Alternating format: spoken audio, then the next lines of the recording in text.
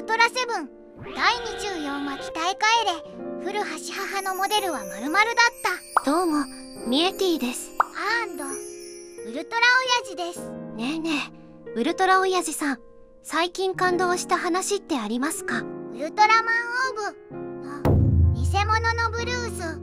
あらすじを聞くだけで涙が出ましたな。なるほど時代によってまた年齢や世代で違った感動がありますよね。ウルトラセブンの第24話「鍛え帰れ」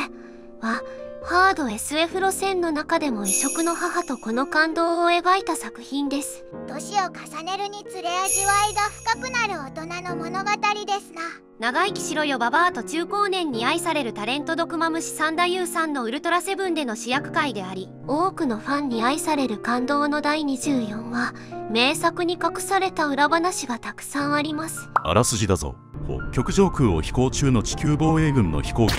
民間機と衝突をする大事件が起きてしまった。調査に向かう古橋のホーク3号の機体にも同様に異変が起こり旅客機と衝突の危機を迎えていた。古橋は本部の指示に従い自爆して脱出を試みるも脱出不能となる。一方その頃息子のシゲルを実家に連れ戻すためにやってきた古橋の母。爆発まで残り120秒の中で母と子は何を思いどんな話をするのか？その118ウルトラセブン VS ウィンダムにまつわる疑惑。アイアンロックスに続いて今回も河南星人という宇宙人が黒幕として登場しながら残念ながら巨大化してセブンと戦闘することはない。子供目線ではどちらかというと物足りない回です。今回の回は三田和穂監督脚本市川真一と共に若手第9話同様にまたしても会社から金をかけるなと言われたのでしょうか。苦肉の策として本来味方であるはずのウィンダムが諸星団に襲いかかるという展開となります。ところで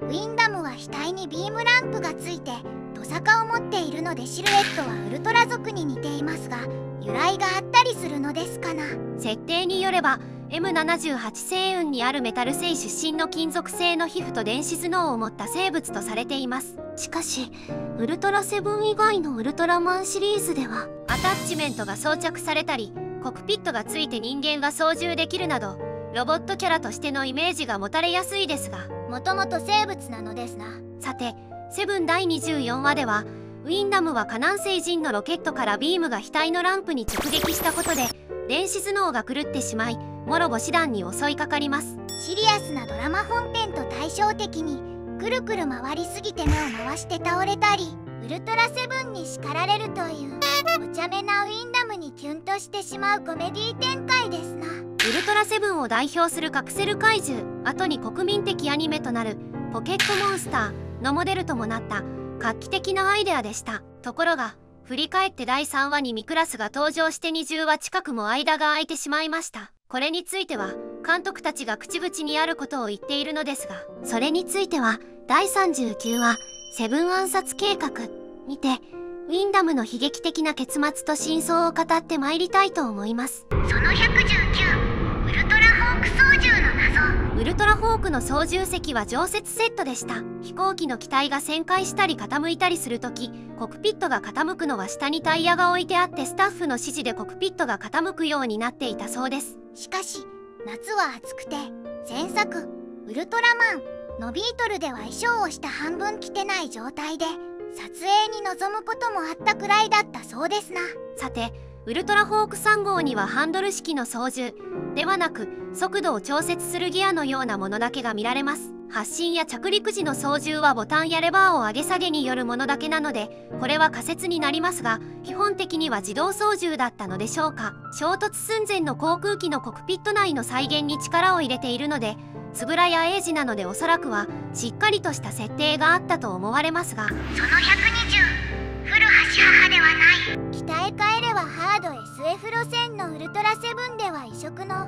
家族愛を描いた感動のドラマですな。河南星人のオーロラ光線を受けてコントロール不能となったホーク3号は民間の飛行機に激突を避けるために自爆装置を起動した古橋は脱出を試みるも爆発まで残り120秒こちらホーク3号しげるこちらしげるしげるかいあ母さん古橋の母がマイク越しに「しげる」と声をかけられこちら「しげる」とこのやりとりは年を重ねるにつれて熱い思いが湧いてきますな。古橋の母を演じる市川春代さんは戦前から国民的な人気を誇る歴史的有名な女優だったそうです。毒マムシ三太夫さんにとって市川春代さんの母のイメージと自分の母親は違うということを毒マムシさんご本人が語っておられます。先日は徹子の部屋にて毒マムシさんは戦争体験とお母様との戦争体験を語っておられましたな。古橋茂の母のモデルとなった人物は監督光高津穂の母親なのです。本作の脚本は市川新一が執筆しておりますが監督光高津穂の思い入れが強く込められた作品であります。古橋母のモデルは映像関係の仕事を理解して応援してくれた三田和穂監督の母であることを監督ご自身が語っておられます。古橋のホーク3号爆発時刻が迫る中母子ともに笑う名シーンは三田監督が初めて監督になったことを母に告げた時電話口で笑い合ったことを思い出して演出をつけたそうです。その121古橋の名前古橋茂は実は？第24話の名シーンは現場で古橋の母を演じる市川春代さんが通信機で自分の子供に名前を「しげる」と呼びかけるシーン。実は台本には名前が書いてなかったので証明技師の新井茂から名前をいただいて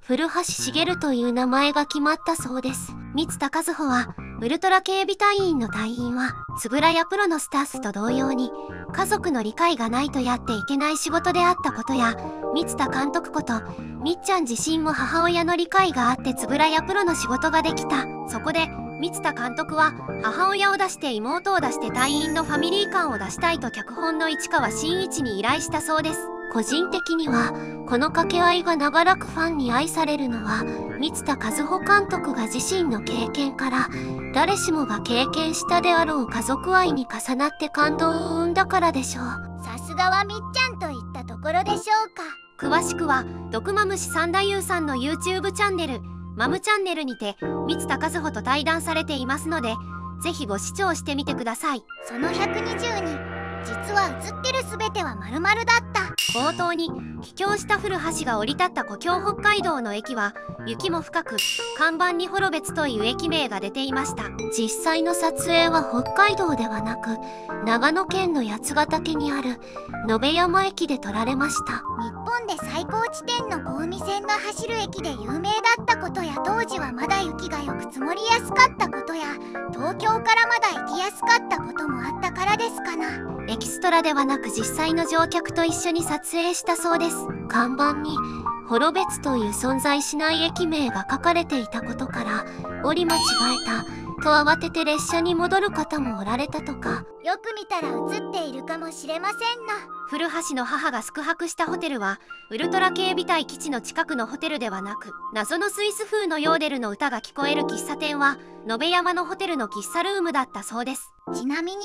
軽井沢の清里ということも言われますな。またこれはよく話題になって有名な話ですが古橋の母がホテルの一室で一瞬テレビで相撲中継が映った時に大砲と柏戸の大一番とテレビのアナウンサーの声が響きます。高度経済成長にあたる昭和の子供たちが大好きなものとして巨人大砲卵焼きとよく言われましたな。最高の取り組みがたまたまテレビで中継されていると言われたりするのですが実は吹き替えであって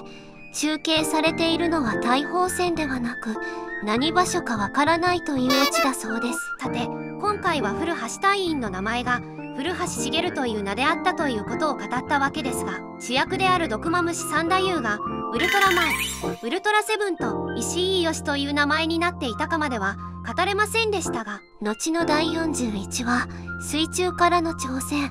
にて例の有名なカッパの話を語る際に話をしていこうかと思います。そんな。それは楽しみですな。このウラトラセブンはブログにてテキストを公開しております。動画の概要欄にリンクがございますのでぜひそちらも覗いてみてください。高評価チャンネル登録よろしくお願いします。ほなね。